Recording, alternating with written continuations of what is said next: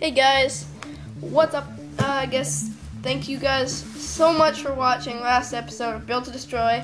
We got over 250 uh, views, and I decided, hey, let's make a new one. So, also, thank you very, very much for 200 subs. That means a lot to Tyler and I. So, I guess enjoy the video. Peace out.